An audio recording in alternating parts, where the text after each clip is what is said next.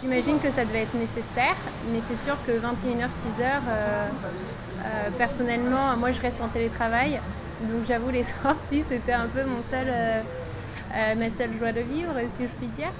Euh, non, bon, on va trouver un moyen.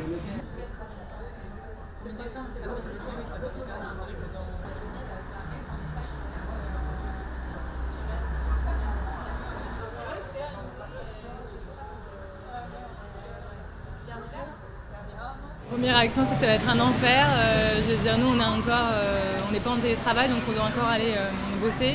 Donc en fait, je, rentre du boulot à 21h, donc je suis en train de me dire ça va être très compliqué au niveau vie sociale. je vais absolument plus avoir de vie sociale.